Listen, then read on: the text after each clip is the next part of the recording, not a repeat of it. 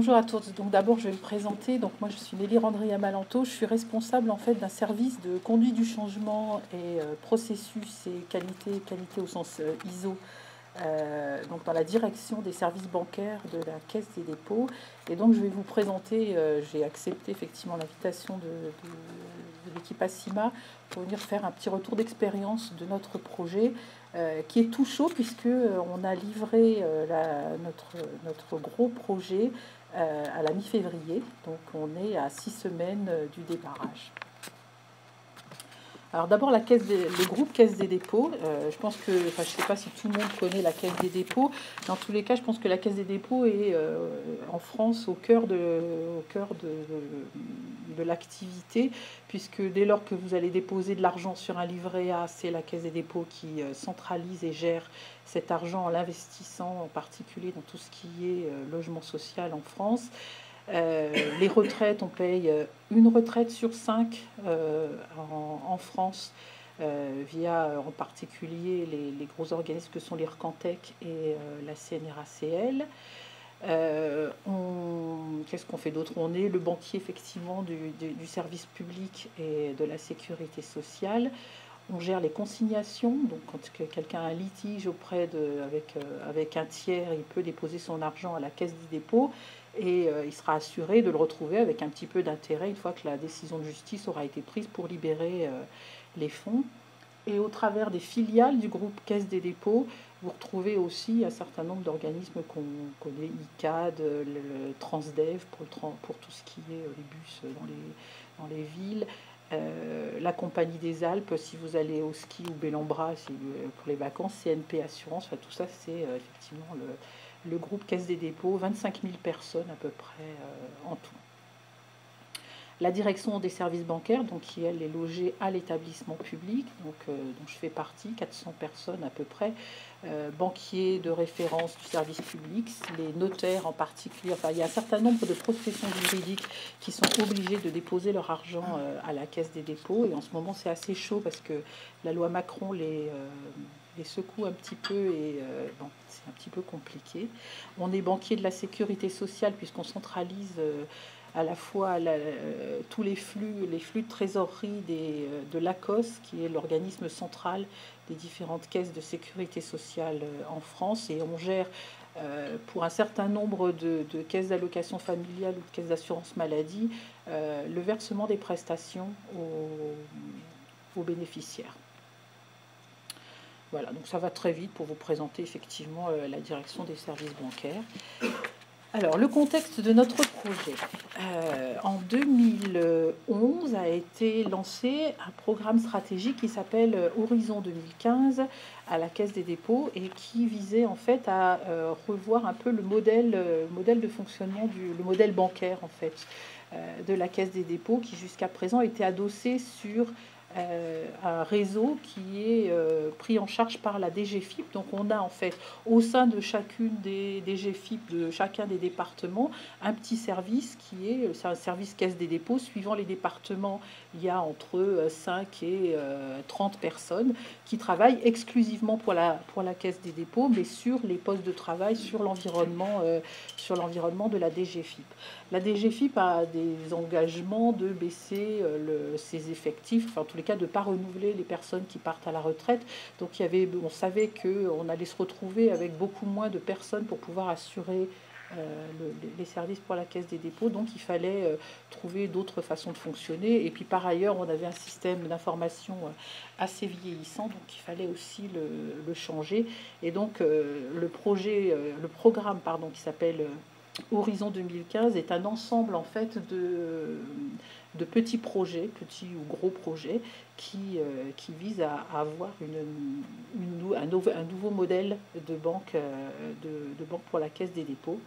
Et donc euh, maintenant qu'on a livré tous les projets qui sont en rouge, qui sont des projets informatiques, il nous reste en fait à finaliser la création de cinq centres de services bancaires, puisque ce ne seront plus les départements de la DGFIP qui vont, qui vont assurer les fonctions préposées pour la caisse des dépôts, mais cinq centres de services bancaires avec de nouvelles personnes qui ne connaissaient pas euh, le, travail de banquier, qui, euh, qui sont formées et qui montent en compétences pour assurer euh, ce travail-là. la DGFIP, pour ceux qui ne connaissent pas, c'est la Direction générale des finances publiques. En fait, c'est les impôts hein, dans, dans, chacun des chaque département. Alors donc pourquoi ce programme? C'est ce que je vous expliquais à l'instant. Donc euh, on a effectivement euh, changé, on, va, on change notre, notre réseau qui était adossé à la distribution physique et euh, en fait on a déporté vers le client la majorité des opérations, des opérations bancaires. Je pense qu'il y a, pour, j'ai vu que dans la salle il y a pas mal de personnes qui viennent du monde bancaire. On est quand même par rapport à, pas, à la Société Générale ou d'autres types de banques, on est une petite une petite banque, mais avec des gros montants et euh, beaucoup, de flux à, traiter.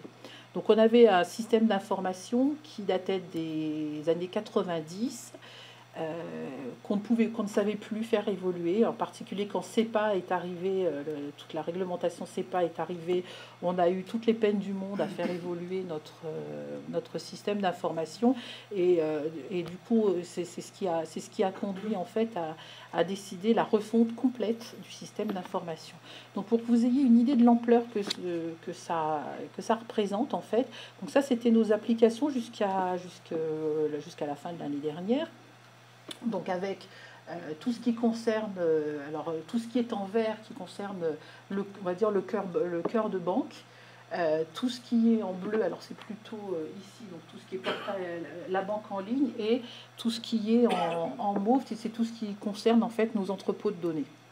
Donc en fait, c'est la grande majorité de nos applications qui ont été refondues et donc qui qui, se, qui ont simplifié, ça nous a permis aussi de simplifier en fait notre, notre cartographie euh, applicative, puisque à l'intérieur du SI bancaire qui s'appelle Saturne, on a un certain nombre de modules qui, euh, qui traitent ben, effectivement tout ce qui est client compte, la tenue de compte, les moyens de paiement. Euh, on a mis en place un business activity monitoring pour tout, ce qui, tout ce qui traite des flux de la COS et les flux, les flux qu'on, a, de paiement qu'on a, qu'on a à traiter de manière à les, à les surveiller au long de la journée. La banque en ligne a été complètement refondue et euh, notre entrepôt de données aussi. Et la particularité de notre projet, c'est qu'on livrait en Big Bang. C'est-à-dire qu'on n'a rien livré en avance de phase, on a fait une livraison complète de l'ensemble de ces évolutions. Euh, donc là, euh, récemment, il y, a, six semaines. Alors le projet, euh, j'ai mis sur, le, ce, petit, ce faux planning uniquement les, ce qui concerne la partie conduite du changement, parce qu'en fait le projet lui-même avait déjà démarré bien avant, bien avant le, deuxième semestre 2012. Mais bon, après, ça avait peut-être moins d'intérêt pour vous présenter. En fait, ce qui est important de, de, voir, c'est que on a eu un déroulement qui a été assez mouvementé sur le projet, puisque euh, initialement était prévu que la, solution soit livrée en février 2014. Et euh, quelques mois avant, on va dire en novembre 2013, on a compris que euh, ça serait juste impossible de livrer, de livrer en février 2014. Pour autant, on a quand même conservé tout ce qui était calendrier de, formation des utilisateurs. Je vous expliquerai après, après pourquoi. Et euh, il nous a fallu plusieurs euh, semaines pour, euh, pour savoir que, pour comprendre que finalement on ne livrerait qu'en février 2015, donc soit un an après le démarrage initialement prévu. Or, entre les deux, donc c'est en septembre 2014, devait euh, avoir lieu de toute façon, parce que c'était un engagement qu'on avait avec euh, la DGFIP, la création des cinq centres de services bancaires. Donc ce sont des nouvelles populations qui ont été, sont des jeunes recrutés, euh, jeunes fonctionnaires recrutés par, par la DGFIP et qui ont été qui ont pris en fait un travail de banquier, on va dire banquier caisse des dépôts, après avoir été formés pendant deux mois au métier bancaire et euh, en particulier à l'ancien outil. Donc en fait, ce qui était compliqué, c'est que ce sont des, donc ça, représente 150 euh, personnes qui ont été formées entre, en septembre et octobre 2014 à l'outil, à l'ancien outil, alors même qu'on savait bien que dès le février 2015, ils allaient devoir être reformés à l'ensemble de nos outils, puisque c'est quasiment tout notre patrimoine applicatif qui allait qui allait changer. Donc tout ça a, a, obligé en fait à être assez réactif, à mettre en place des, voilà, des, des, biais pour, pour, permettre euh, d'assurer que au Go, quand le Go serait donné en février 2015, les utilisateurs soient quand même, euh, soient quand même formés à la nouvelle solution. Nos populations cibles, euh, ben, on avait tous, tous les gestionnaires, donc gestionnaires bancaires, gestionnaires de consignation, gestionnaires titres, tous les back-office, back-office chèque, enfin tous les back-office euh, moyens de paiement, hein, d'une manière générale, la monétique, euh, les chèques, la tenue de compte, la compta, les caissiers, un service habilitation, parce que la solution qu'on a, a choisie est assez compliquée en termes de gestion des habilitations, et euh, toute la partie des, euh, des, utilisateurs qui sont euh, plutôt des commerciaux, donc les chargés de relations clients, directeurs et chargés de développement. Donc les acteurs multiples, c'est bah, effectivement les équipes de la Caisse des dépôts, Informatique CDC qui est notre GIE informatique, donc la maîtrise d'œuvre du, projet, l'éditeur SAB, donc notre, la solution qu'on a retenue pour, pour, notre cœur de banque, on va dire, c'est la solution SAB qui est un, global bancaire. Et SAB s'est allié avec euh, euh, plusieurs autres sociétés, en particulier alors Prolival pour tout ce qui était euh, tout ce qui est infrastructure, avec une société qui s'appelle Move pour tout ce qui est la reprise des données, puisque vous pensez bien qu'un ancien système comme ça à, remettre dans le nouveau, c'était un gros gros challenge, et avec Sistar pour la solution de Business Activity Monitoring et donc la DGFIP qui a été aussi euh, notre partenaire. Et on a travaillé en plateau projet euh, auprès de la bibliothèque François Mitterrand, donc euh, en, en, récurrent une centaine de personnes avec, avec des, pointes, des pointes suivant les, les phases du projet. Tu fais le gardien du, du temps. Du temps hein, parce que donc voilà, moi je voulais vous présenter effectivement la conduite du changement qu'on a, qu'on a mené, euh, suivant un peu tous ces axes pour que vous voyez, enfin pour, enfin, pour, pour partager avec vous à la fois euh, les succès et les difficultés qu'on a pu euh, rencontrer. Donc, le, donc on a commencé d'abord par tout ce qui est euh, cartographie de, cartographie de processus. Et ça, ça a commencé assez tôt. Alors je ne sais pas si, dans l'assistance, il, il, y a des personnes qui travaillent sur ces aspects-là, mais on va dire que ce n'est pas vraiment les aspects qui intéressent forcément le plus les utilisateurs. Qui, enfin, en tous les cas, chez nous, il y a beaucoup de gens qui qui pensent que les processus c'est que du dessin et euh, qui ne voient pas forcément à quoi ça va leur servir dans leur, euh, dans leur quotidien. Ce qui fait qu'on avait effectivement, parce qu'au niveau de la caisse des dépôts, il y a une, euh, une démarche processus qui, qui a été menée par le secrétariat général. Tout le monde est obligé d'avoir, enfin, de, de, formaliser, de, oui, de formaliser ces processus. Donc nous, au niveau bancaire, on savait qu'on avait à peu près 200 processus qui existants qui étaient euh, impactés. Et là, il a fallu, il fallait un moment euh, aller voir les sachants du projet pour leur demander euh, qu'ils nous expliquent en quoi le, la mise en place du nouveau logiciel allait impacter les, processus, les processus cibles. Et quand on a eu euh, X fois des reports de rendez-vous, on s'est dit que là, il allait falloir changer de méthodologie parce que, euh, en fait, le problème qu'ils avaient, c'est eux-mêmes n'étaient pas très disponibles et ils étaient particulièrement sollicités par toutes les équipes qui voulaient savoir comment l'outil allait fonctionner euh, en cible, en fait. Et donc là, on a travaillé. Bah, alors là, pour le coup, on a, dans l'équipe, on avait comme, on est, je veux dire, assez inventif. En tous les cas, on, a essayé d'être assez créatif pour contourner les problèmes. Et euh, on a décidé en fait qu'on allait filmer euh, les experts métiers, c'est-à-dire prendre des rendez-vous avec eux, préparer tout le travail qui, euh, concernant, enfin préparer euh, toute la documentation existante, nous, nous, imprégner déjà de ce qui existait, et puis aller les voir, leur dire bon bah tu t'assieds à côté de moi, moi je tu vas m'expliquer, tu vas me raconter ton processus de bout en bout. Comment tu ouvres un compte Donc, ben voilà, tu vas d'abord dans le référentiel tiers, tu vas, enfin, le client, on lui a fait signer tel papier, machin, etc.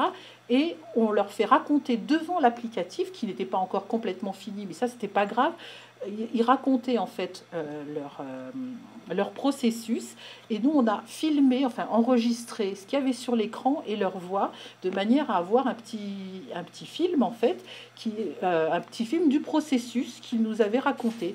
Et donc on passait sur chaque écran leur disant bon ben voilà et sur, cette, sur cet écran là, dis-nous quelles sont les zones obligatoires, dis-nous qu'est-ce qui se passe si on, si on va sur telle zone, quelles sont les règles de gestion, qu'est-ce qui change par rapport à aujourd'hui.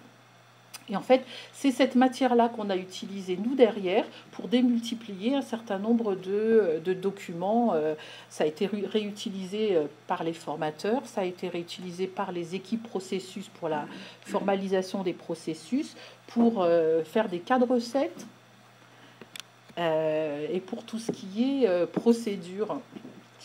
Je laisse ma collègue, donc c'est ma collègue Stéphanie qui, qui arrive.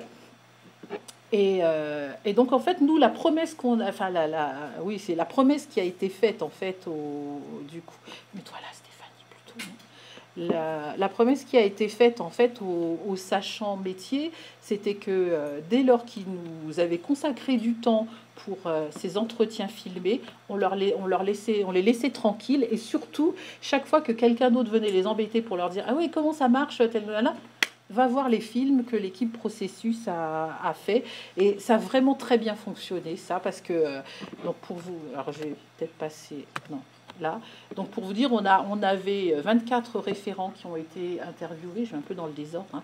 On a fait 174 heures d'entretien euh, et plus de 90 heures de vidéos. Donc en fait, on a eu 180 vidéos qui ont été euh, réalisées sur certains par exemple, sur tout ce qui était euh, euh, les virements, virements CEPA, par exemple, je sais qu'il y a eu plusieurs vidéos parce que c'était assez compliqué à expliquer avec beaucoup de cas. Et en tout, on a eu, euh, ça nous a permis en fait de mettre à jour 120 processus métiers, dont les 87 indispensables au démarrage. ça a été vraiment quelque chose de tout à fait bénéfique on a, nous, on, peut, on, sait que c'est ce qui nous a permis de booster en fait notre, euh, notre travail. Alors je reviens un peu en arrière.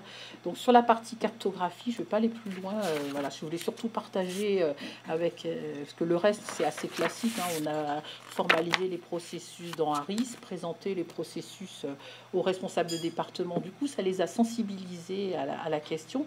Ce qu'on a fait aussi et qui a très bien marché, c'est que du coup toute la matière qu'on avait nous a permis en fait de proposer des, des aides pour les gestionnaires, en particulier euh, cette, la journée bancaire des gestionnaires, parce qu'en fait, ça allait un petit peu changer. Il y avait des choses qui changeaient pour eux. Et donc, vous voyez, je l'ai mis en plus grand là. Ils ont, euh, pour, les, pour, se, former surtout les nouveaux gestionnaires, on a euh, conçu ce poster qui permet de voir que dans la journée bancaire, ben, on a des contraintes horaires de cut-off pour les, euh, suivant les, opérations à traiter. Il peut voir qu'est-ce qui est euh, sollicitation du client qu'ils ont et les opérations au fil de l'eau. Et ce poster est accompagné d'un A4 en fait avec l'ensemble des documents qui, sont associés aux différents cut-off, sollicitation du client, opération au fil de l'eau.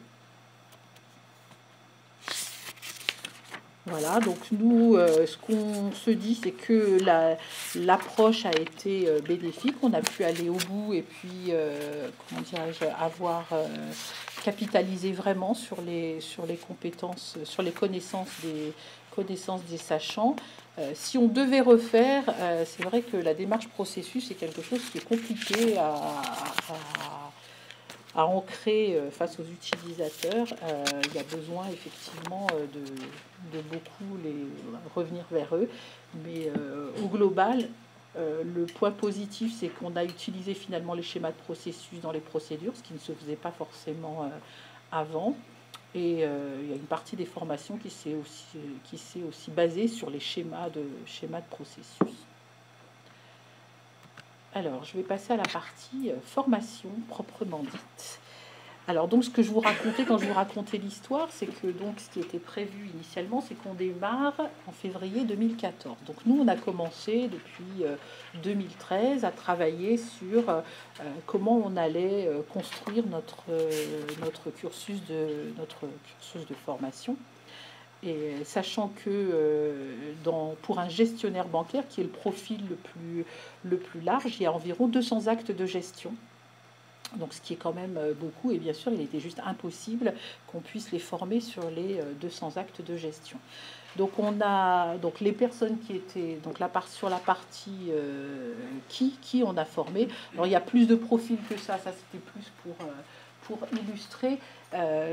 une formation gestionnaire, c'est cinq jours de formation, donc c'est dense.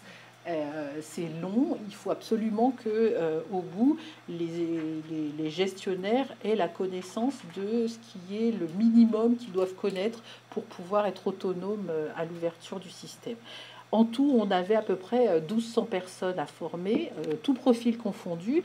On, est dans, on était dans la dans le, cas où notre applicatif démarrait vraiment en février 2014. Il s'est trouvé que du coup, il y a des gens qui ont été formés, mais formés pour rien, puisque euh, comme les, services de, les centres de services bancaires ont été montés entre-temps, euh, bah, il y a la, on va dire à peu près la moitié des personnes, alors pas la moitié des 1200, c'est la moitié des, des euh, je sais plus combien ils étaient, 600 gestionnaires bancaires qui ont été formés, euh, formés pour rien, et les autres donc formés en 2014, alors même qu'on démarrait en 2015. Donc on a choisi de faire effectivement des formations présentielles en utilisant l'outil euh, Asima. Alors pourquoi nous on a choisi Asima? C'est bêtement parce qu'en fait ça fait longtemps qu'on travaille avec Asima, la Caisse des dépôts, et qu'on avait déjà des licences, euh, qu'on avait déjà des gens qui connaissaient et qu'on savait que ça, que ça fonctionnait, et surtout que nos utilisateurs acceptaient la solution.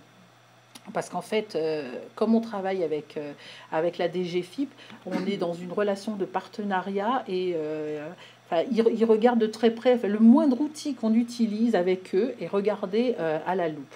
Et donc on savait qu'on n'aurait pas cette, ce problème-là, la question ne se posait pas avec Asima.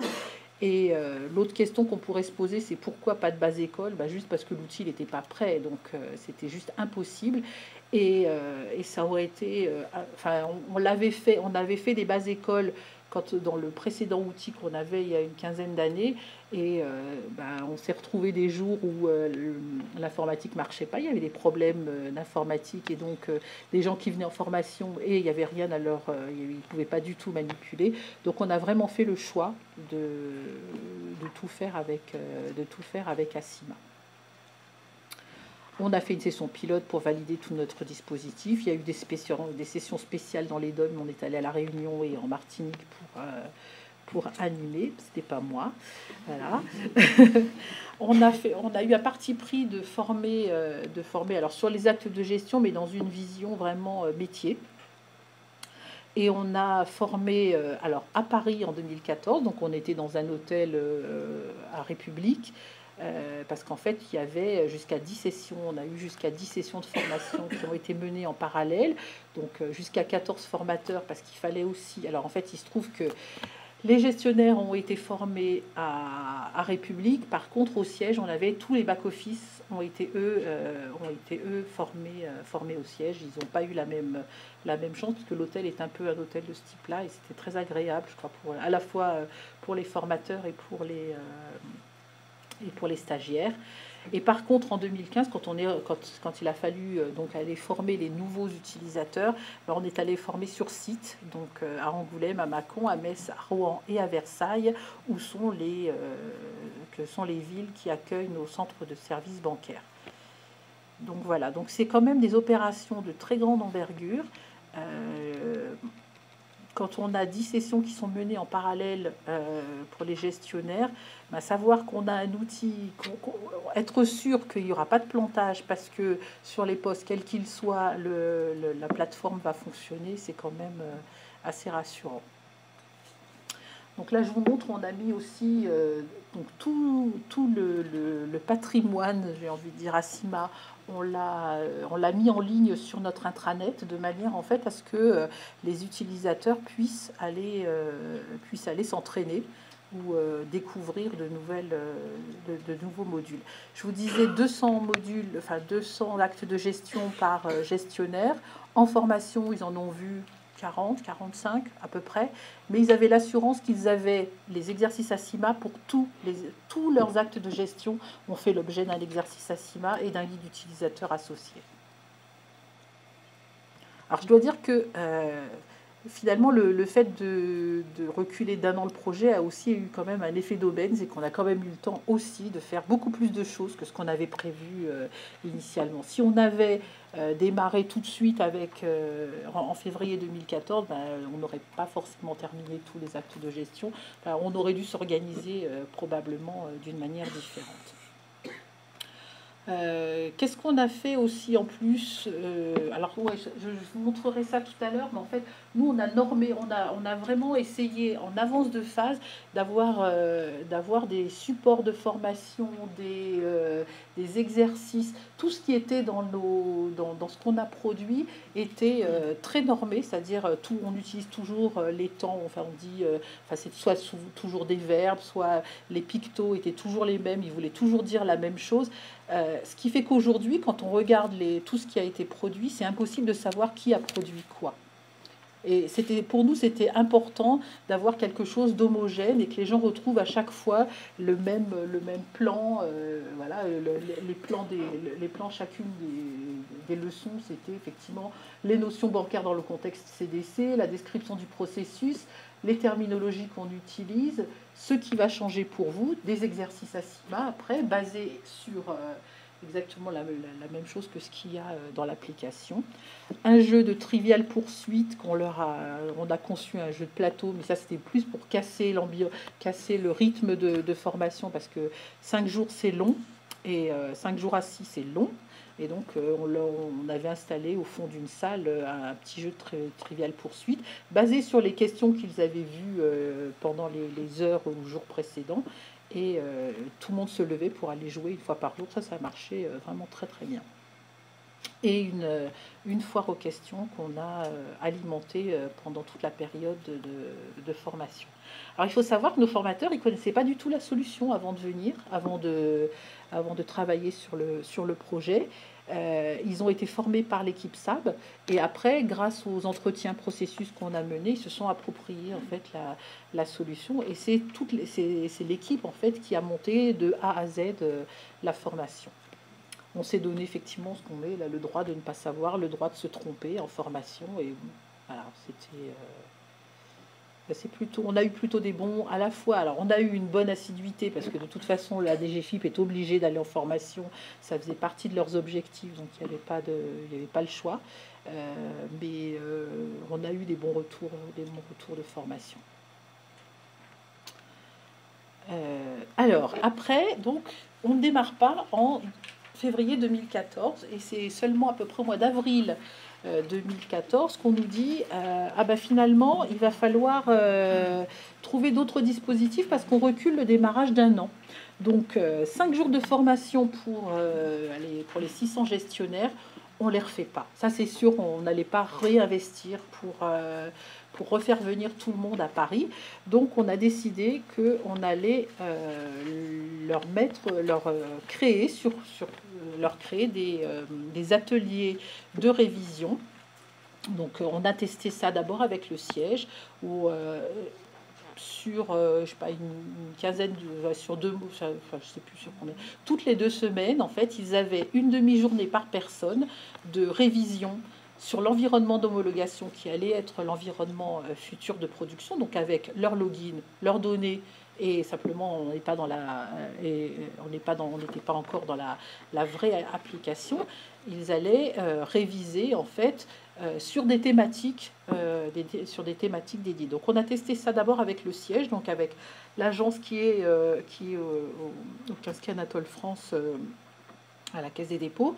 Et on est allé après en province pour euh, faire réviser les utilisateurs de la DGFIP sur les principales grandes villes. Et ils sont venus euh, dans les mêmes conditions, sauf qu'au lieu d'avoir, euh, alors du coup c'était sept demi-journées, ils ont fait ça en, condensé pendant deux jours durant les, deux premières semaines de janvier. Donc chaque utilisateur futur qui avait bénéficié de la formation 5 jours en février, en février 2014, janvier-février 2014, a pu manipuler du coup sur l'outil avec pendant les deux jours. Donc en fait, pour permettre de, préparer ça, on leur, a, on leur a fait des fiches de révision et on a tout appuyé en fait sur le patrimoine qu'on avait fait euh, dans, dans Asima. Alors je vous montre comment. Donc on, leur a, on a envoyé, bon ça c'était la première thématique qu'ils avaient, qui est la thématique client-compte. Donc on leur envoyait ça quelques jours avant les séances de révision présentielles. Et c'était des fiches, ils ont eu à chaque fois les mêmes, hein, quelle que soit, enfin les mêmes, la même conception de fiches, quelle que soit la, la thématique. Donc des questions, euh, si mon client veut travailler avec trois devises différentes, combien faut-il ouvrir de compte Alors, c'est n'est pas neutre, hein, les questions, c'est parce que le système précédent ne le marchait d'une manière différente.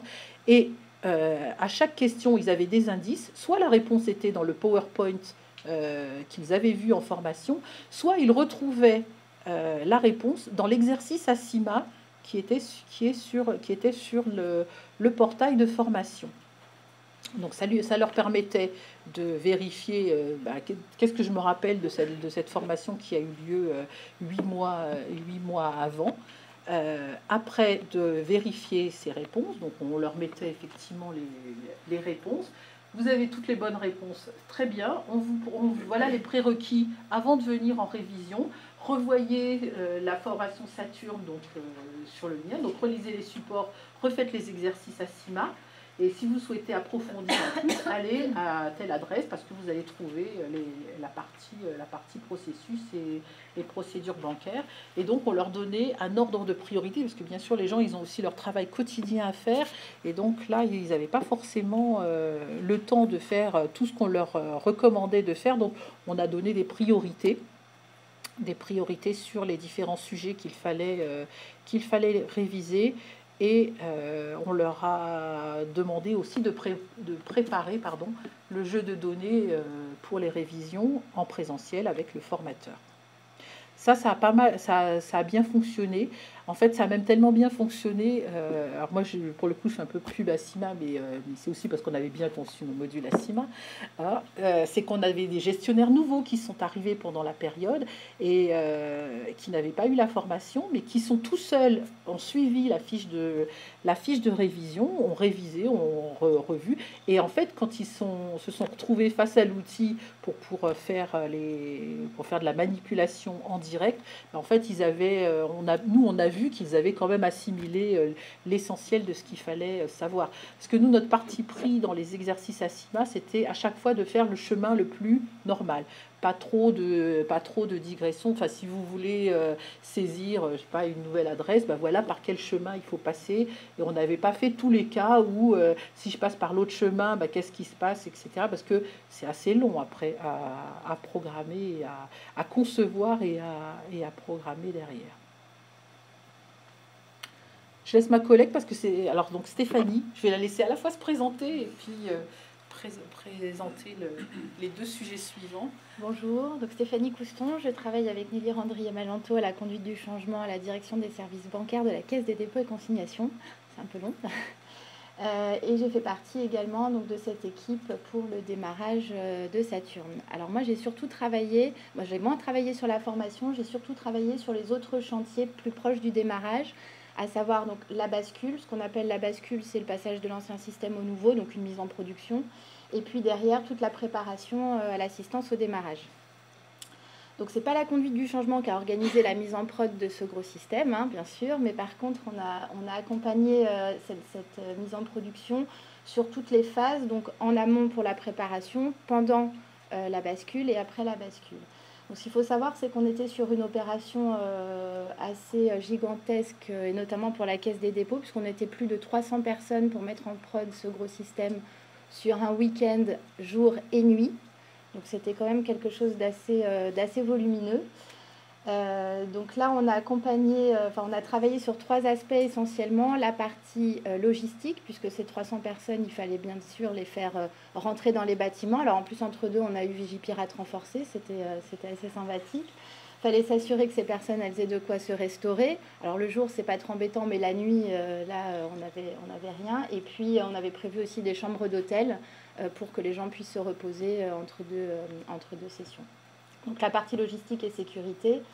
On est intervenu aussi euh, en lien avec les ressources humaines euh, parce que euh, c'est sur une opération comme ça, avec des heures complètement en dehors de ce qu'on appelle l'EIS, donc les, heures d'intervention classiques, bah, la caisse des dépôts, on n'était pas forcément habitué, notamment sur des volumes aussi gros et qui faisaient intervenir alors, des maîtrises d'œuvre, des maîtrises d'ouvrage, donc des gens qui ont un peu plus l'habitude, mais aussi beaucoup de métiers.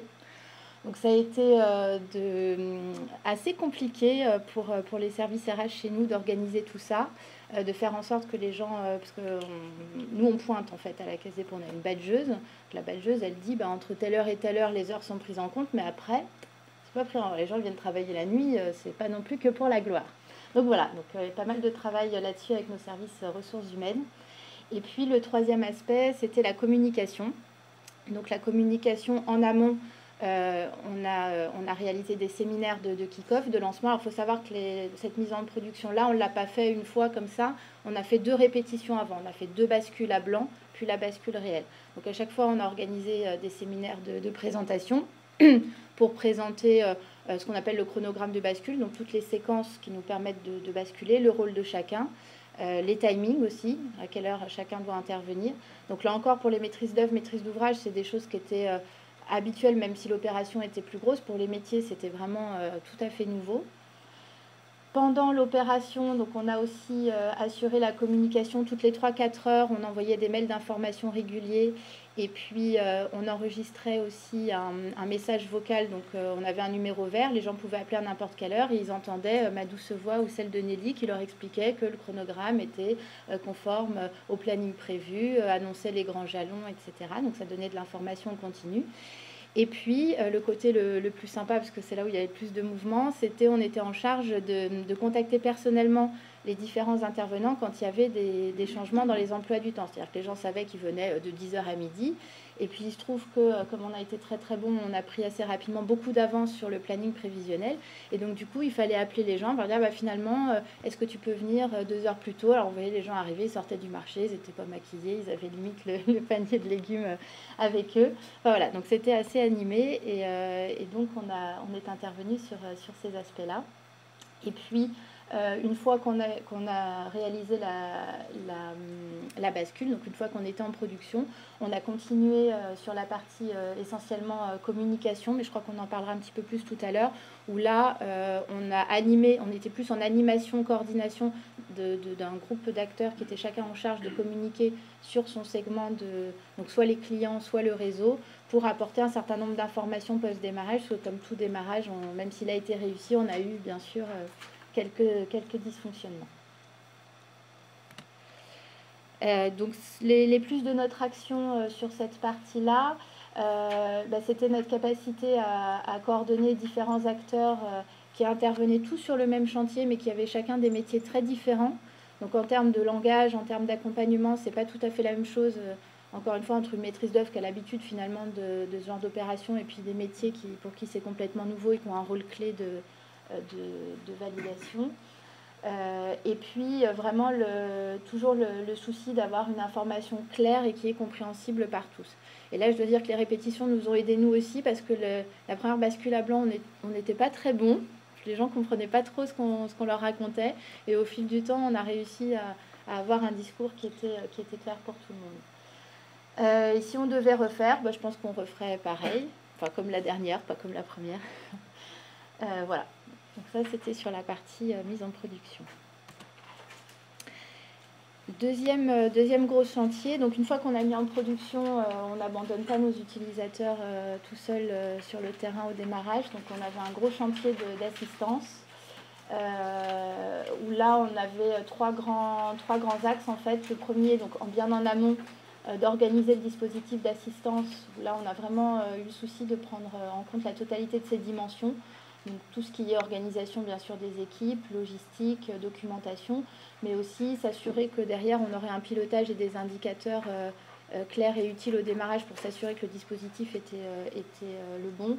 Et, et, les outils, donc là pareil on en reparlera tout à l'heure, mais on a profité de, de ce gros projet pour outiller un petit peu nos, nos services d'assistance, nos hotlines, qui partaient d'un petit peu loin, le cahier, le crayon et le téléphone, bien sûr. Et, le donc, téléphone, pas le casque. Voilà, le téléphone. Et puis, attendez, je note, euh, cahier, crayon. Bon, c'était un petit peu artisanal. Donc, on a profité de, de cette mise en production-là pour, euh, pour euh, mettre en place des outils un petit peu plus industriels et qui permettent notamment de, à la fois de capitaliser et de tracer et d'avoir assez facilement des indicateurs utilisables au démarrage. Euh, le deuxième axe euh, important, ça a été de renforcer les équipes. Euh, en fait, le, choix a été fait très, en amont du projet par la direction des services bancaires de s'appuyer sur les structures existantes. On aurait pu, sur un, sur un projet comme celui-là, se dire qu'on montait une équipe d'assistance ad hoc, même si elle n'était pas pérenne, euh, quitte à en externaliser une partie pour pouvoir euh, industrialiser et sécuriser le démarrage. Le choix qui a été fait, c'est de s'appuyer sur les structures pérennes, essentiellement pour deux raisons. La première, c'est qu'on ne voulait pas perturber nos utilisateurs. Ils avaient déjà changé de système. On ne voulait pas non plus qu'ils aient d'autres interlocuteurs en ligne, euh, qu'on change tous les, circuits.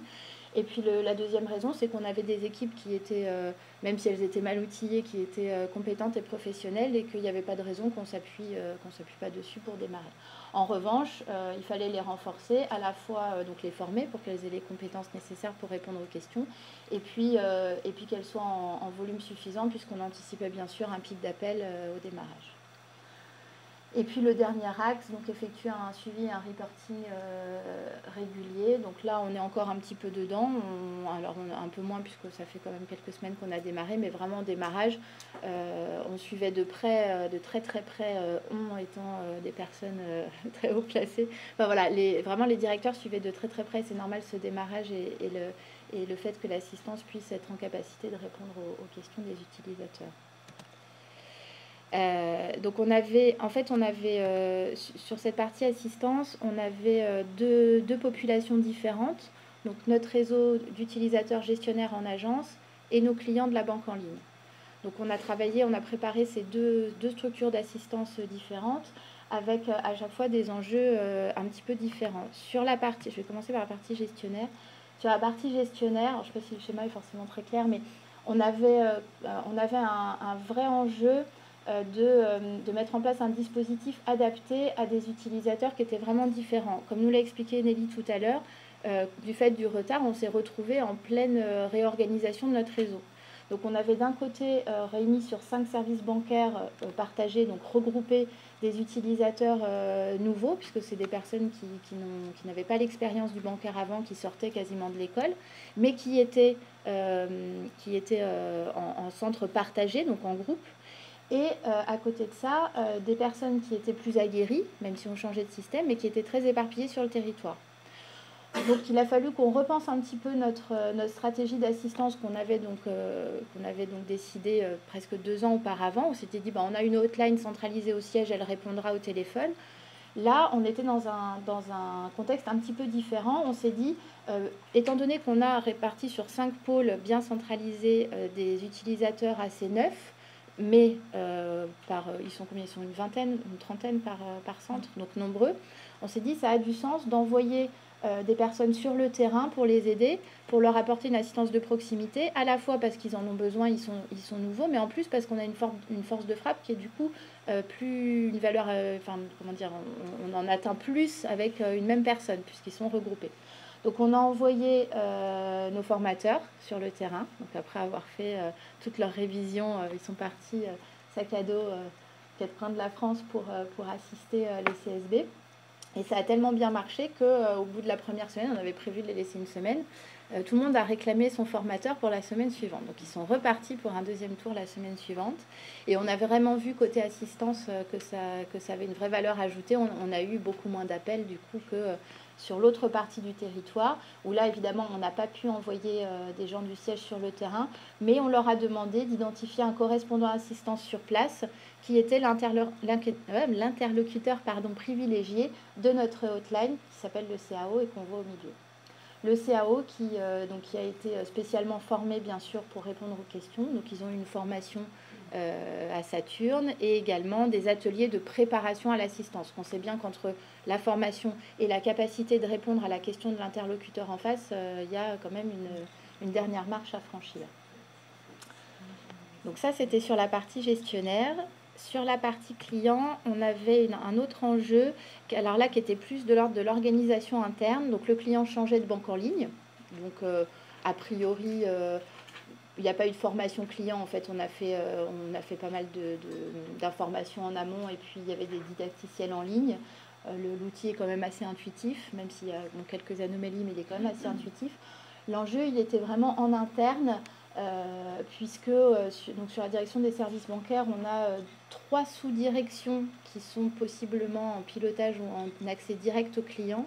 Et à l'intérieur de ces sous-directions, ça représente quatre, quatre, services. Enfin bref, en interne, beaucoup de services face à un seul client.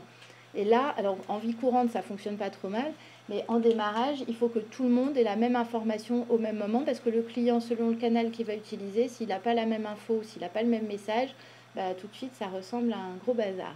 Donc on avait un vrai enjeu en préparation du démarrage pour coordonner tout ça et s'assurer que chaque service était bien positionné euh, par rapport à son, à son domaine d'intervention. Donc on avait rappelé au client les règles à qui je m'adresse en fonction de la question euh, que, je peux avoir et, euh, euh, les, circuits qui permettaient à chaque, boîte que l'on voit là de, de se parler. Donc là, l'outillage nous a bien aidé. Enfin, je laisserai Nelly présenter tout à l'heure, mais là aussi, on en a profité pour mettre en place un outil qui permettait de partager l'information, parce qu'on n'a pas vraiment d'outil de, gestion client en tant que tel. Donc un outil qui permettait de partager l'information et de s'assurer qu'entre les différents services, à minima, euh, quand ils avaient le client au bout du fil, ils pouvaient savoir si le client avait déjà appelé quelqu'un d'autre et s'il avait euh, connaître un petit peu l'état du problème. Et au final, ça n'a pas trop mal marché, heureusement, parce qu'on a eu pas mal de. On a eu surtout, en fait, euh, des, quelques dysfonctionnements ont surtout concerné la banque en ligne. On a donc surtout eu beaucoup d'appels clients. Et en dessous, ils ont été quand même beaucoup sollicités. Voilà, donc les plus de notre action, euh, le fait, euh, bah, fait d'avoir euh, très en amont mis en place, on a mis en place des groupes de travail en fait pour s'assurer que, le, dispositif soit bien, bien construit avec chacun de ces services-là ensemble et que tout le monde se soit bien approprié les différents circuits et les différents outils au moment du démarrage. Parce qu'au moment du démarrage, on a beau savoir quand on est un peu sous le téléphone n'arrête pas de sonner, un petit peu en panique. Alors là, on oublie tout ce qu'on a, tout ce qu'on a bien écrit sur des belles slides, etc. Donc, le fait d'avoir réuni le groupe de travail régulièrement et, d'avoir construit tout ça ensemble petit à petit a fait que euh, au démarrage, ça a à peu près ressemblé à ce qu'on avait dit que ça serait. Euh, et puis, euh, et puis la prise en compte du chantier assistance dans toutes ses dimensions. Euh, parce que c'est vrai que l'assistance, c'est pas juste s'assurer qu'on a des hotliners assis sur une chaise avec un téléphone, c'est déjà ça c'est important, mais il faut aussi euh, prévoir l'ensemble de, euh, de, de, l'outillage, des circuits qui permettent que quand ça commence à monter, on arrive à, tout arrive à bien s'emboîter. voilà. Si on devait refaire, on ferait à peu près pareil. Le, tout petit point qu'on n'avait pas forcément anticipé, c'était justement cet afflux d'appels clients démarrage. En fait, on, s'attendait plus à avoir des dysfonctionnements côté euh, cœur système que banque en ligne. Du coup, on avait beaucoup travaillé avec le, donc nos réseaux de gestionnaires sur la partie Saturne, formation Saturne, moins sur l'accompagnement client. Et en réalité, on a eu surtout des dysfonctionnements de banque en ligne qui ont généré beaucoup d'appels clients. les gestionnaires étaient aussi en première ligne sur ces, appels-là. Et c'est vrai que euh, bah là, l'accompagnement sur place des formateurs pour les aider a été, euh, a été très précieux. Euh, alors je ne sais pas si j'en dis beaucoup plus sur l'accompagnement terrain. En fait, je ne sais pas si on a un petit peu de temps. Je pense que ça, je pense que ça suffit. Je vais laisser la parole à Nelly. Donc sur la partie euh, communication, nous on a travaillé euh, très en amont en fait, euh, à la fois pour informer tous les, futurs utilisateurs de ce que le système allait, leur apporter. En particulier, on a fait un tour de France, donc on est allé dans les grandes villes pour présenter aux utilisateurs le, système tel qu'il allait être, tel qu'il allait être en, cible. Et on a fait ce qu'on appelait nous les rencontres Saturne, qui sont en fait des événements où les, les, les, gens venaient à la demande. Il y avait une thématique, euh, enfin sur inscription plutôt, une, une, on en a fait 17. Donc euh, sur une thématique particulière, les gens, les, les métiers du coup s'inscrivaient et venaient voir à quoi allait ressembler leur, euh, leur système, leur système futur, puisque effectivement le projet il a été quand même assez long et pour qu'ils aient un petit peu aussi pour faire taire les rumeurs, parce que quand c'est long comme ça, on dit oh, ça c'est long parce que ça marche pas. Mais si ça marche, venez regarder. Donc euh, les démonstrations permettaient aussi de, montrer que euh, ça avançait et que euh, l'outil l'outil fonctionnait. On a fait pas mal d'informations alors en mode pool, donc le fait d'avoir un espace Saturne sur notre, notre extranet, sur l'extranet qu'on partage avec la DGFIP. On a contribué à la lettre d'information interne de la direction des services bancaires. Tous les mois, on parlait de notre projet, euh, donc nous, on avait un article tous les mois pour euh, éclairer sur une, thématique particulière euh, du projet. On a fait de la communication pour mobiliser les équipes, donc dans un premier temps ce qu'on appelait espace SI, donc un peu sur chacun des sous-projets, qu'est-ce qui se passait, parce que sur un, projet gros comme ça, tout le monde a tendance un peu à être dans sa bulle. Donc, euh, moi, je travaille que sur les moyens de paiement. Je ne regarde que les moyens de paiement et ce qui se passe sur la tenue de compte, sur les référentiels, sur la banque en ligne. Je sais pas, je sais pas ce qui se passe. Et euh, l'idée de faire euh, cette communication permettait aussi que chacun soit au courant de ce qui se passait dans les autres équipes. Quelques semaines avant le démarrage, on a, on a fait une communication qu'on a appelée Nouvel Horizon et qui, alors, euh, on a été vraiment trop ambitieux là-dessus parce qu'on voulait faire quelque chose de quotidien. Et euh, bah, au bout de trois semaines, on a vu qu'on n'avait plus rien à dire, on n'avait pas grand-chose à dire tous les jours. Surtout qu'on voulait euh, faire quelque chose d'un petit peu décalé un peu humoristique. On a eu de la chance parce que la direction de projet nous a vraiment laissé euh, complètement libre de la manière de, de communiquer. Mais là où on avait un enjeu euh, au départ qui était euh, on va plutôt c'est plutôt vous qui allez nous, nous, alimenter sur les informations qu'il y a dans votre, sur la partie du projet que vous menez. En fait, très vite, on s'est aperçu que bah, les gens, ils n'osent pas trop, euh, ils pas trop euh, parler de. Quand ils ont des difficultés, ils veulent pas trop en parler parce que bon, voilà, ça se voit tout de suite. Et puis quand même quand ça va, ils n'ont pas envie de, faire cocorico alors qu'ils savent qu'à côté, euh, les équipes, ça va peut-être un petit peu moins bien. Donc, en fait, notre ambition, elle, a, elle est assez vite retombée simplement parce que faute d'information. Donc euh, c'est aussi pour vous dire qu'il y a des choses qui ont marché, mais d'autres qui ont un petit peu moins bien marché. Et on a fait, euh, effectivement, on a organisé aussi des événements, donc des séminaires. On a fait deux séminaires euh, pendant le, temps du, le temps du projet, donc avec à chaque fois 80 personnes à peu près, une fois à Chantilly, une fois à Vannes. Alors pourquoi à Vannes? Parce que l'éditeur SAB une grande partie de ses équipes à Vannes. Donc nous sommes allés voir les équipes là-bas et on en a profité pour, euh, pour faire deux jours un petit peu au vert, mais de euh, rabibochage de toutes les équipes parce que ça a été parfois tendu. C'est aussi pour ça qu'on a fait euh, durant le projet à peu près tous les 6-8 mois des enquêtes qualité de vie au travail, donc prévention des risques psychosociaux, mais qu'on a positivé dans qualité de vie au travail. On a proposé des séances de sophrologie et pendant la bascule, un fauteuil massant, enfin tout ce qui permettait un petit peu d'alléger d'alléger les, les, les, difficultés et les, tensions entre, entre les équipes. Euh, nous, ce qu'on retient de tout ce qu'on a, de a pu faire, c'est que on a pu, parce qu'on avait la confiance de la direction de projet, faire une communication qui était euh, dans un ton adapté au contexte, pas langue de bois, c'est-à-dire qu'on n'était pas là à dire tout le temps tout va bien et tout, mais on pouvait dire que ça n'allait pas, mais de manière positive quand même. Euh, ce que les équipes ont bien apprécié, c'est qu'on mette en lumière euh, régulièrement des, personnes, parce que ben, voilà, au-delà de, des, sujets qu'on traite, euh, c'est d'abord des personnes, des équipes qu'on a, pu, mettre en lumière. Et on a eu du coup des remerciements, parce que certains se trouvaient, voilà, ceux qui travaillent sur les performances, parce que ça c'est toujours des, sujets qui ne sont pas forcément les, les plus simples. Ben, ils étaient contents de voir que ben, les les a fait sortir de la soute.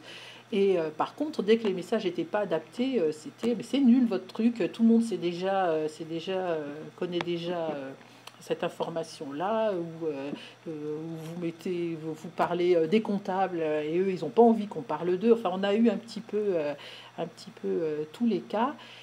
Euh, ce qui a été le plus compliqué pour nous, c'était d'expliquer les multiples aléas du projet au-delà du, cercle du projet. C'est-à-dire quand il a fallu aller expliquer aux utilisateurs que ben non, là vous avez été en formation, mais euh, pas tout démarre pas tout de suite.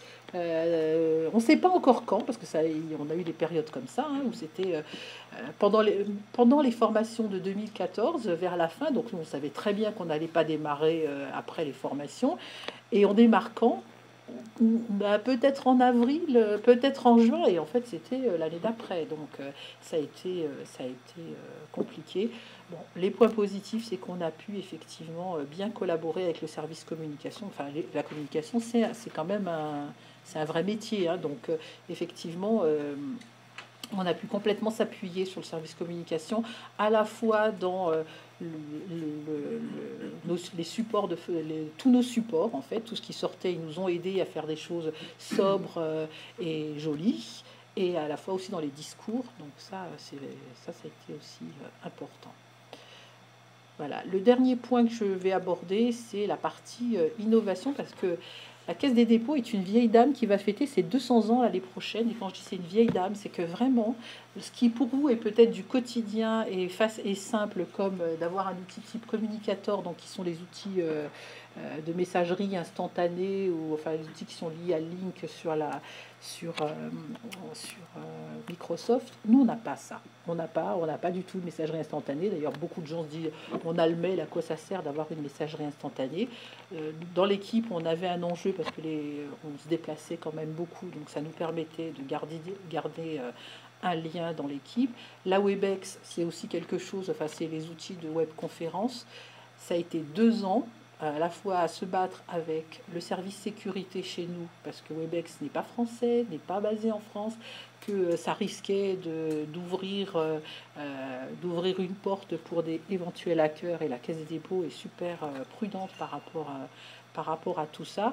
Deux ans de travail donc avec euh, le service sécurité et avec la DGFIP, parce qu'à la DGFIP, si vous avez un service comme Webex, vous n'avez plus Internet. C'est soit l'un, soit l'autre. Donc pour que les gens puissent quand même réviser, il fallait, euh, fallait convaincre que sans ça, c'était impossible de faire euh, réviser à distance les utilisateurs. Au final, on a, on a réussi à convaincre tout le monde et on en a tenu plus de 200 petites conférences comme ça pour pouvoir faire réviser à distance euh, les utilisateurs. Donc Captivate, alors Stéphanie m'a fait remarquer que ce n'était pas Captivate, c'est Cap Studio qu'on a utilisé pour filmer les, euh, les, séances processus. Et Godzilla, en fait, Godzilla, c'est le nom interne d'un outil qu'on a mis en place spécifiquement pour, les, pour, la, pour l'assistance. C'est basé sur Jira. Et en fait, c'est un outil, un outil qu'on a mis en place très simple permettre de faire de la capitalisation des cellules d'assistance. Et euh, il a super bien marché donc, pour des utilisateurs qui n'utilisaient même pas le casque pour euh, répondre aux utilisateurs. Donc on a commencé par leur dire bah, ce serait bien. Donc euh, conduite du changement sur l'utilisation du casque quand on répond au téléphone à longueur de journée. Non, non, c'est pas, c'est pas si simple que ça. Hein. Et, euh, et, donc, euh, et donc euh, à chaque appel, ils, traçaient, du coup, ils ont abandonné le crayon et la, et la gomme pour, et le cahier pour noter bah, les appels, sur quoi, sur quoi ils, ils portent, quel, qui a appelé, etc. Ce qui nous permettait derrière, nous, de faire toutes les statistiques qui allaient bien pour, pour surveiller à quel moment l'assistance revenait à son niveau initial de, de fonctionnement. Donc voilà, ça a été effectivement tout ce qui nous a permis de répondre euh, aux situations inédites donc, qui sont présentées pour nous. Euh, euh, oui, je n'ai pas parlé d'ACIMA, mais c'est parce que je vais en parler encore après. effectivement, la possibilité de former sur tous les modules SAB, c'est, nous, pour nous, ça a été un vrai plus. Et d'ailleurs, on va continuer à, on continue à l'utiliser, même si on a démarré.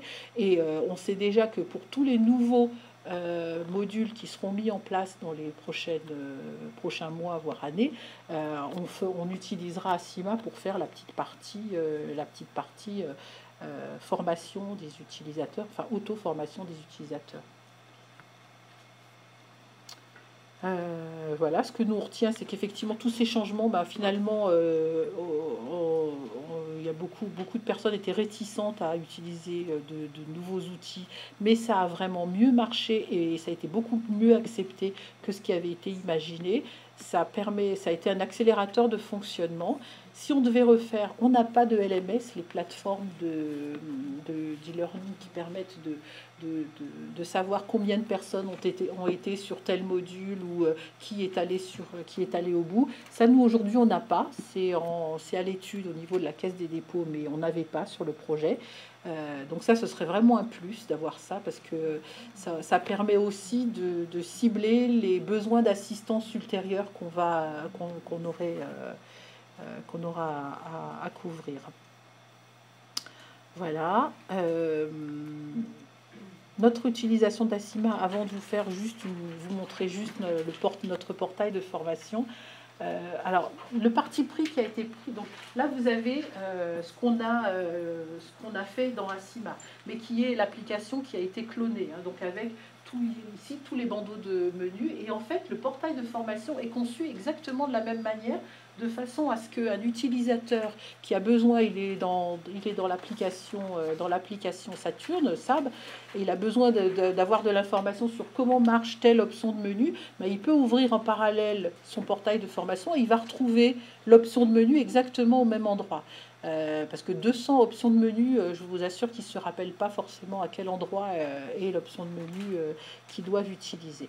Donc on a, on a à peu près, effectivement, on a réalisé à peu près 200 exercices et guide utilisateur qui allait avec, puisque grâce à le, fonctionnement d'Asima permet en fait dans un seul storyboard de faire à la fois de produire des, euh, d'avoir des productions différentes, de faire des exercices Asima et des guides utilisateurs. Donc on les pense en même temps et c'est deux produits différents qui sortent, euh, qui sortent au final un déroulement de leçons uniforme, donc on a vraiment euh, veillé à avoir euh, les pictos, le vocabulaire, tout ça fait euh, toujours de la même manière, quel, que soit l'exercice. Donc ce que je vous disais, le parti pris de présenter systématiquement le, chemin nominal. Et en fait, l'équipe maîtrisait l'écriture des storyboards, donc, ce qui permet après de produire, de produire les exercices. Mais on a choisi de faire intervenir des experts d'ACIMA pour euh, booster la production des services. On avait vraiment une grosse, euh, euh, beaucoup de production à assurer et donc on a veillé à ce que toute l'équipe sache faire les storyboards, mais après on avait des, personnes d'ACIMA qui, nous ont, qui ont fait de la production industrielle d'exercices. Donc Marie qui est là-bas ou Fabien qui est ici aussi. Voilà, pour que vous ayez une vision un petit peu de l'équipe, parce qu'en fait, on est, euh, voilà, on a, on, était 11 internes, donc équipe montée euh, sur mesure pour le pour le projet, avec donc des pics pendant lesquels on a eu euh, beaucoup plus de, personnes, donc des sociétés externes qui, qui, nous ont aidés, donc Accenture pour Asima, euh, et pour la partie processus, donc des, experts d'ACIMA, des experts de, chez Deloitte, une grosse équipe Deloitte qui, nous a, qui a travaillé avec nous sur la partie euh, formation et euh, une équipe qui vient de Natea pour la partie processus. Une population, combien, de combien vous avez en population cible encadré combien de personnes avec ah ben moi ça c'est toutes les ça c'est ça c'est l'équipe projet mais Ouais, mais l'équipe, elle a été. pour les utilisateurs, vous voulez dire?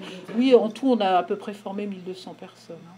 Ouais, peut-être. Mais... Euh, ouais, mais à peu, non, à peu près. Je pense que c'est autour de 1200, 1300 personnes. Ouais. Ça inclut les 5 services euh, Oui, oui. oui, oui. 130 personnes à peu près. 130 en tout. En tout, 130 personnes, oui. Avec effectivement du bac et du, du bac et du front, des euh, différents profils, des gens qui avaient que de la consultation. Donc euh, voilà. Les formations étaient concentrées sur, euh, sur quelques semaines. Mm. Ça forçait à avoir aussi un grand nombre de formateurs pour délivrer les formations. Donc en fait, nous, effectivement, en conclusion, ce qu'on peut dire, c'est que pour l'équipe, et je pense que euh, au moins Marie peut en témoigner, euh, ça a été vraiment une parenthèse enchantée, ça a vraiment été euh, un super projet avec beaucoup de collaboration, de solidarité entre les équipes, avec des gens qui qui savaient pas forcément utiliser tous bien les outils, mais tout le monde s'est entraidé, ce qui a permis effectivement que bah, pour nous, le succès, c'était de vérifier si au bout les utilisateurs allaient savoir utiliser l'outil Est-ce que la hotline ne serait pas submergée Et, euh, aujourd'hui, pour nous, euh, c'est un vrai succès parce que euh, effectivement, les utilisateurs savent utiliser l'outil. Ce qui est encore plus plaisant, c'est que nos guides utilisateurs deviennent la référence pour les, les utilisateurs, puisque dès qu'il y a une anomalie sur, sur le nombre qu'on a fait, c'est un peu normal qu'il puisse y avoir quelques coquilles ou des, des, endroits où les gens comprennent pas très bien. Bah, tout de suite, ils reviennent vers nous pour nous dire ah bah oui, mais le guide utilisateur truc là il ne me décrit pas bien euh, l'opération ou il a pas euh, voilà j'ai des choses qui sont euh, qui me manquent donc donc qu'est-ce qu'on fait? Pour la petite anecdote là, vous avez vu qu'il y avait quelques petits dessins. On a fait venir pendant la deuxième bascule à blanc un dessinateur qui a croqué en fait en, en séance, les, les, capté un petit peu l'ambiance et euh, il, nous, il, nous, a restitué, il nous a fait euh, peut-être une petite centaine de dessins euh, humoristiques très sympas et du coup ça nous permet ça, voilà, moi je voulais illustrer parce que ça représente bien, voilà, ça marche, mais c'est parce qu'en fait derrière il y a une équipe qui a bien fonctionné. Voilà, donc ça c'était sur la présentation. Je vous présente vite je vais vous présenter rapidement notre euh, portail. Voilà. Donc là, vous avez le portail de formation. Il est volontairement sobre, c'est-à-dire que dans d'autres dans d'autres environnements de la Caisse des dépôts, euh, il a été customisé euh, bien plus que ça. Nous, on a choisi de faire un portail de formation euh, assez sobre. Donc avec l'ensemble des exercices, alors c'est pas le, la toute dernière version parce que je voulais, vous, je voulais montrer quelque chose d'un de, petit peu particulier qu'on a fait, mais en gros, vous voyez là, vous voyez pour chaque, euh, chaque option de menu, en fait, on a systématiquement un exercice, un manuel utilisateur et un guide de prise de notes. Alors, on a, on a tout mis en ligne, même si manuel utilisateur et guide de prise de notes c'est assez proche, mais c'est ce qui permettait, le, guide de prise de notes, c'est ce qui nous permet de faire des petites formations à la demande et puis que les gens notent directement dessus euh, les, remarques du, formateur. Alors on a fait quelque chose qui, je ne sais pas si d'autres clients de d'Acima font ça, mais nous on voulait que nos utilisateurs sachent utiliser le portail. Non, je ne vais pas y arriver et donc, on leur a fait un exercice spécifique de navigation Asima, mais qui n'est pas seulement comment je navigue dans Asima, mais qui leur explique aussi euh, le qui leur explique un, petit peu la manière dont les exercices euh, sont conçus. Donc c'est un exercice qui est basé sur euh, voyagesncf.com et c'est tout à fait fait exprès, c'est-à-dire c'est pas du tout un exercice de banque, c'est un exercice que n'importe qui peut comprendre la logique de, de, la saisie, mais qui, qui, sert en fait à faire, le, à faire la partie euh, ASIMA. Donc voilà, donc on a à la fois fait de la capture d'écran, donc du clonage de l'application euh, voyagesncf.com, mais aussi intercaler des, parties euh, PowerPoint pour expliquer la navigation dans, nos exercices. Donc en fait, donc on, a présent, donc on présente l'inote. Donc l'inote, je je vais pas vous faire une formation à CIMA, mais l'inote c'est la petite, c'est une petite partie, c'est une, petite fenêtre qui peut, qui peut bouger c'est ça par exemple, qui peut bouger sur l'écran et qui euh, porte en fait toute la partie pédagogique euh, de la, formation. Donc en fait, nous on, a, euh, construit nos e-notes à chaque fois de la même manière, avec des pictos assez semblables. Et ça, ça permettait en fait à l'utilisateur de savoir comment, comment utiliser l'exercice ASIMA avec la partie euh, donc signalétique, des, donc explication de ce, qui de ce que sont les, les pictos, euh, l'objectif, le point le, le, d'attention, l'instruction pour faire, et derrière, après, euh, donc après derrière, l'utilisateur bah, commence à faire son exercice. Donc on met, on a posé la consigne. Voilà, bon, je vous, je vous laisse lire. Monsieur et Madame Dupont viennent et puis ils savent pas comment faire leur comment faire leur réservation en ligne. Donc, on va leur expliquer, euh, on va leur expliquer via euh, le petit module, euh, le module ASIMA. Donc voilà, donc ça, ça c'est pour expliquer, parce que certaines fenêtres ne portent, juste des messages sans, sans instruction. Donc c'est le cas de cette première fenêtre. Et après on commence les instructions. Donc une partie instruction, une partie point d'attention, une partie point d'information. Alors je vais pas, voilà. Normalement il faut renseigner les informations suivantes. Donc dans la zone départ, tapez Paris. Donc je tape Paris. Non, pas comme ça. Parce qu'en plus il faut, c'est case sensitive, donc il faut faire attention. Donc Cannes. Alors un truc qui s'est passé en formation, c'est que nos utilisateurs, ils ont vite compris que la caméra allait leur permettre de voir comment ça marche. Donc voilà, c'était pas forcément la peine de faire les saisies, surtout quand on leur demandait de taper des numéros de compte avec tous les zéros devant, etc. Et donc euh, ils voyaient, et ça, ça leur suffisait totalement. Donc je sais pas, je vais pas aller, vais pas aller au bout de l'exercice, mais c'est pour vous expliquer un peu qu'on a à la fois euh, euh, fait, fait un exercice pour expliquer à l'utilisateur comment, comment s'utilise euh, l'application euh, l'application Asima et, et l'inote et, euh, et on leur a fait bien sûr tous les exercices qui vont bien pour faire la consultation des sols des mouvements, l'exercice. Donc à la fin, de, à chaque fois ils avaient à la fin de la leçon ce qu'ils seront capables de faire. Donc consulter une position minute, interroger des mouvements, interrogation par montant, interrogation des sols de- des sols des mouvements. Donc voilà, un peu, donc la fenêtre modale qui leur rappelle ce qu'ils vont pouvoir voir. Et puis, et puis à chaque fois, en fait, c'est vraiment une petite formation sur un, juste une seule partie de, de, de l'application. Cliquez sur l'option consultation position minute, donc qui est là. On passe à la suite. Dans la zone compte, saisissez le numéro de compte. Alors vous voyez, c'est pour ça que quand on doit saisir ça, et ben, et voilà, ils faisaient juste la caméra qui faisait à leur place. Voilà. Et donc après, ils arrivent. Et donc ça, c'est assez classique. La formation, elle est, euh, elle est assez classique. Voilà. Ok. J'ai pas dépassé mon temps.